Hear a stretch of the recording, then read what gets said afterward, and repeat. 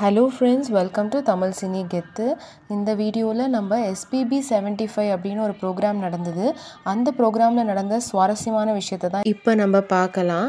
இந்த ப்ரோக்ராமை ஹோஸ்ட் பண்ணது பார்த்திங்கன்னா நம்ம எஸ்பிபி ஷரண் தான். இந்த ப்ரோக்ராம் ஆங்கரிங் பண்ணது வந்து வெங்கட் பிரபு தான் அவரோட பெஸ்ட் ஃப்ரெண்டு இதில் பார்த்தீங்கன்னா வெங்கட் பிரபு வந்து பிரேம்ஜியோட சைல்ட்ஹுட் க்ரஷ் யாருன்றது போட்டு உடச்சிடுறாரு மேடையிலேயே.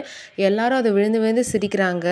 யாருன்னு பார்த்தீங்கன்னா நம்மளுக்குலாம் ரொம்ப சர்ப்ரைஸாக இருக்கிற மாதிரி மாதிரி எஸ்பிபி ஷைலஜா தான் அவளோட சைல்ட்ஹுட் க்ரஷ்ன்னு சொல்கிறாங்க எஸ்பிபி ஷைலஜா வந்து நம்ம எஸ்பிபியோட சிஸ்டர் நம்ம எல்லாருக்கும் தெரியும்.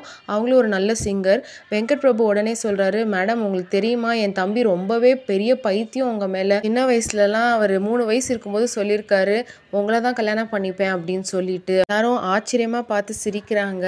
இப்போ வரைக்கும் அவருக்கும் கல்யாணம் ஆகாமல் இருக்குது ஆனால் ஒரே ஒரு விஷயம் என்னென்னா உங்கள் பொண்ணுக்கே நீங்கள் மாப்பிள்ளை தேடுறீங்கன்னு இப்போ கேள்விப்பட்டேன்.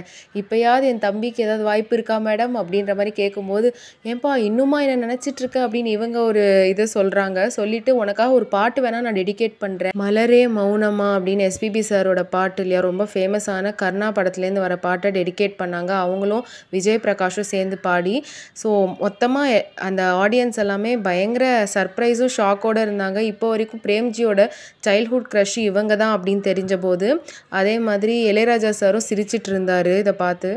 எது எப்படியோப்பா இப்போயாவது கல்யாணம் பண்ணிக்கோ அப்படின்னு சொல்லிட்டு எஸ்பி சைலஜா சொல்லும்போது வெங்கட் பிரபு டே பார்த்துக்கோடா இவங்களே சொல்லிட்டாங்க. அவங்க பொண்ணுக்கு மாப்பிள்ளை பார்க்குறாங்க தயவுசெய்து பண்ணிடுறா. அப்படின் போது எல்லாரும் சிரிக்கிறாங்க.